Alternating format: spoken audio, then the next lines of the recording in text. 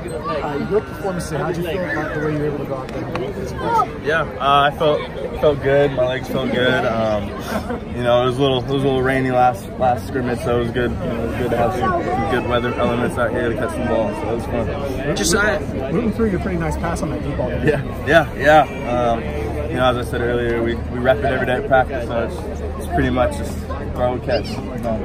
yeah, we, we, talked after Mountainside last week, and you know, you were talking about your chemistry with Jake, and it looks like it's showing again today. How yeah. comfortable are you guys out there? Yeah, we're, we're extremely comfortable. You know, it just keeps on going, and it's gonna you know proceed into the summer and you know through fall camp. It's just every day, just keep on going more and more. And for you personally, how comfortable are you starting to feel as the game really starting to slow down yeah, for you out there? Extremely. I can, I can process the play call and look at the defense, and you know just kind of have a sense of calmness and with, with a sense of urgency as well. And you know, I take everything just one play at a time, and you know, it's gotten a lot. It's gotten a lot slower. How did you like the atmosphere today, and then uh, the new uniforms? Yeah. What are your thoughts? Yeah, it was cool. We actually got a chance to see him yesterday, so you know, it was cool. Um, you know, a bunch of the players came out and rocked the uniforms. That was that was pretty cool.